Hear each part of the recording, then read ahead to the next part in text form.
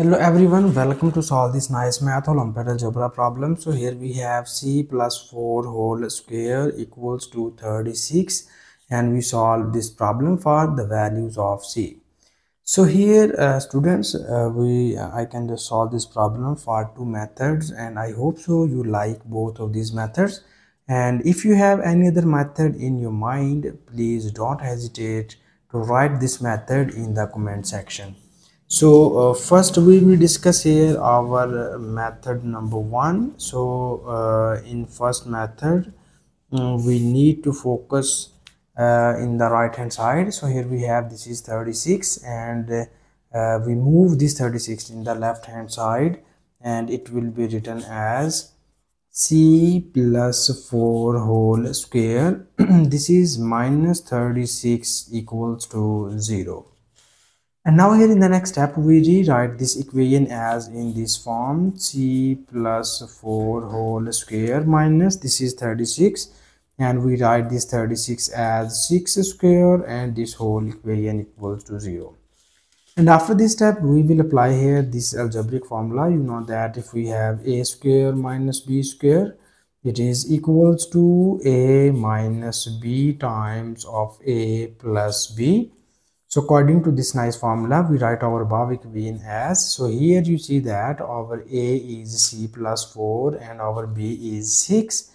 and uh, when we apply this formula, we write our above equation as in this form, this is C plus 4 minus this is B and our B is 6 and this is A plus B here our a is c plus 4 and plus our b is 6 and this whole equation equals to 0 and now in the next step we need more simplification and we write it as. This is 4 minus 6 equals to minus 2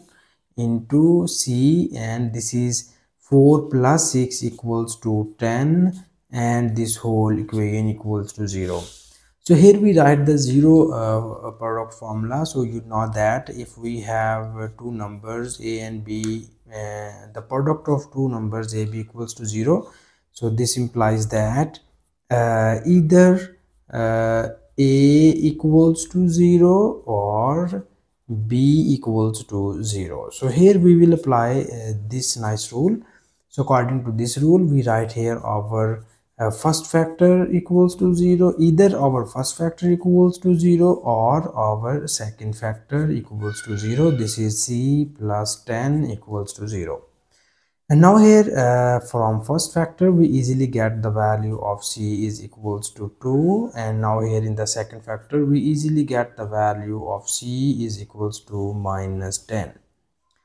so we have uh, these two values of c which we get here uh, our above given question. And now uh, this is the final answer. Now we move towards our second method uh, and in second method uh, we will again solve our given question. So that first we copy down given question statement here. It is c plus 4 whole square equals to 36 and now here uh, in this method we need to focus in the left hand side. And in the left hand side we have this is c plus 4 whole square. So here we will apply this nice formula. Uh, if we have a plus b whole square it is equals to a square plus b square plus 2 times of ab so according to this formula you see here our a is c and our b is 4 so when we expand this formula according to this we write our above equation as this is c square plus 4 square plus 2 times of c into 4 and it is equals to 36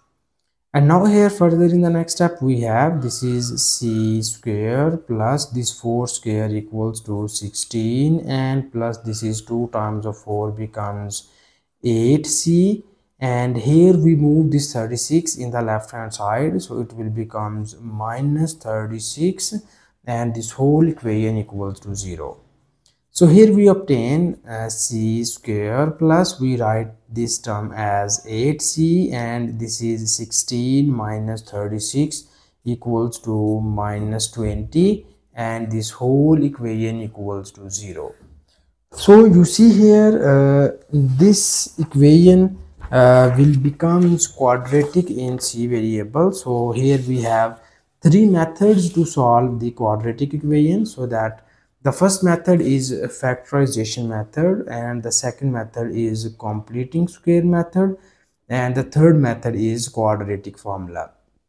So now here in this question we will apply uh, the quadratic formula in order to solve this problem. So for this we first write the coefficients of this equation and its coefficients are capital a is equals to 1 capital b is equals to 8 and capital c equals to minus 20 uh, and here we state the quadratic formula as c is equals to minus b plus minus square root of b square minus 4 times of ac divided by 2 times of a this is the our uh, quadratic formula and now we substitute the values of uh, a b and c here. So the value of b is 8 so when we put it here it will becomes minus 8 plus minus square root of b square. So b is 8 square minus 4 times of a is 1 and c is minus 20 and it is divided by 2 times of a. So here our a is equals to 1 and now further in the next step we have this is minus 8 plus minus square root of 8 square. So our 8 square equals to 64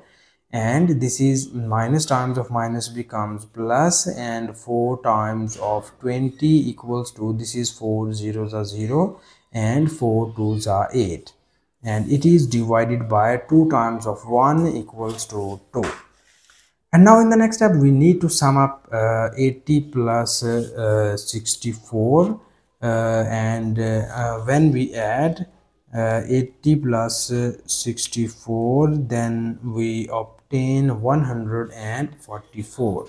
so we get minus 8 plus minus square root of 144 divided by 2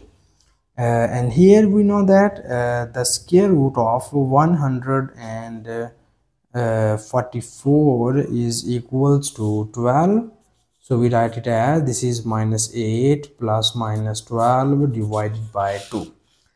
here we break this value and we write here the positive value. It is minus 8 plus 12 divided by 2 and here we write the negative value. It is minus 8 minus 12 divided by 2 so we obtain here our c is equals to minus 8 plus 12 becomes 4 divided by 2 and here we have c equals to minus 8 minus 12 becomes minus 20 divided by 2 so you get this is 2 times of 2 is 4 we have c equals to 2 and in this case we have this is 2 times of 10 is 20 and we get c equals to minus 10 so we again get the same answer which we get from method 1 uh, Uh, and this is the final answer and thank you so much for watching this video. Please subscribe to my channel for more exciting videos